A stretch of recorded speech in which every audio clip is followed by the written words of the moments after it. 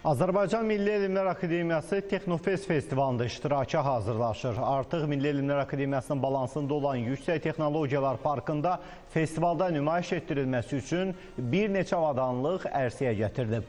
Xüsusilə süni intellektə əsaslanaraq hazırlanan bu texnologiyalar nələrdir? Gəlin izləyək. Azərbaycanda smart arı yeşiklərinin istehsalına başlanıb.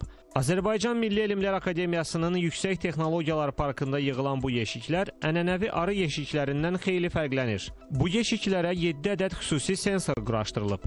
Üstəlik onlar isti və soyuq havalara uyğun hazırlanıb. Müəssisənin icraçı direktoru Emil Əhmədov deyir ki, bu smart yeşiklər Bakıda keçiriləcək Texnofest festivalında da nümayiş etdiriləcək.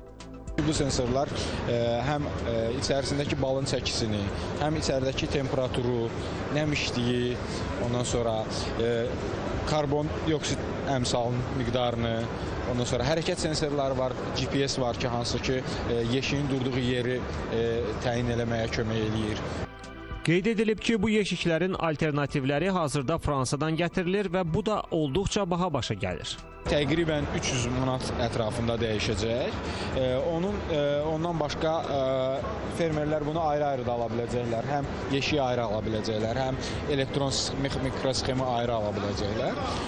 Smart yeşiklərdən başqa Texnofestdə Yüksək Texnologiyalar Parkında yığılan və xüsusilə kənd təsərrüfatında istifadəsi nəzərdə tutulan dron və qurğular da nümayiş etdiriləcək. Bu qurğular kənd təsərrüfatında məhsuldarlığın artmasına töhfə verəcək.